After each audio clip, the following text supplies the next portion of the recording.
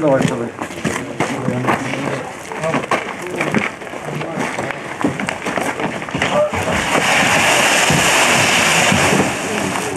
Так закінчились посиденьки з товаришем за чаркою. Для одного з чоловіків вони стали останніми. Сусіди загиблого розповідають, такі вечори були постійними у цьому будинку. Чоловік не працював ніде, любив випити, але не конфліктний.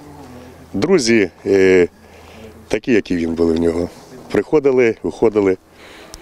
Ну, часто були скандали якісь. Я приїхав з роботи і побачив, що співробітники міліції тут працюють, і потім узнав за це.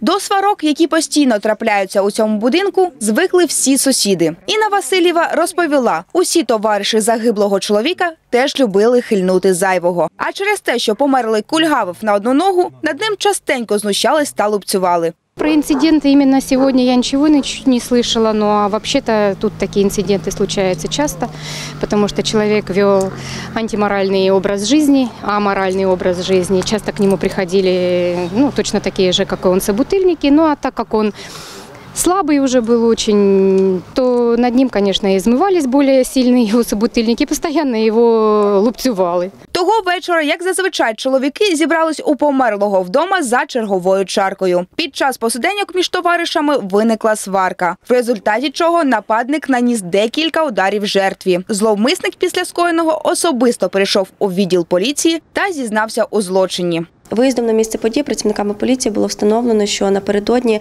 е, двоє чоловіків е, вживали спиртні напої. В них виник конфлікт, в результаті якого 45-річний чоловік наніс своєму опоненту декілька ударів в область голови, в результаті чого потерпілий від отриманих травм помер на місці. 45-річний е, зловмисник особисто звернувся до поліції та повідомив про скоєне, зізнався у вчиненому вбивстві. На теперішній час його затримано Як виявилось, чоловік раніше був засуджений. Наразі його затримали і відкрили кримінальне провадження за статтею Умисне вбивство. Виновному загрожує до 15 років позбавлення волі. Ніколь Біленко, Олег Нікітін, перший міський.